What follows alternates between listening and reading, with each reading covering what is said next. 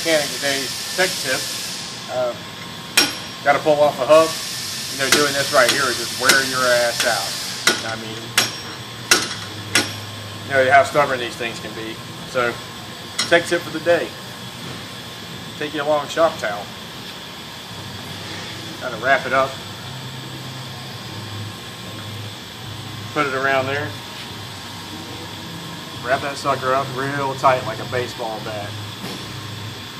This will give you much, much leverage. And then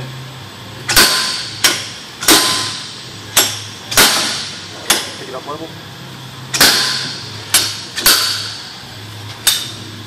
There it is. And that's your tech tip for today.